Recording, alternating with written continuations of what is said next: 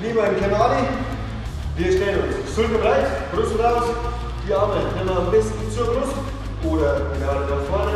Und jetzt Po rausschieben, schieben, schieben, schieben, schieben, schieben, bis du automatisch in die Knie kommst. Du stellst dir sicher, dass deine Knie nach außen gehen und dass der Rücken gerade ist.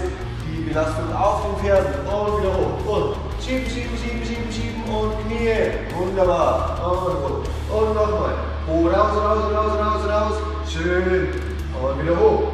Wenn das zu leicht wird, nimmst du einfach ein Gewicht nimm in die Hand, vielleicht hast du kurz eine oder eine schöne Flasche oder eine Kiste Bier, okay? Nach vorne und abwärts. Und wieder hoch. Wunderbar. Hau rein.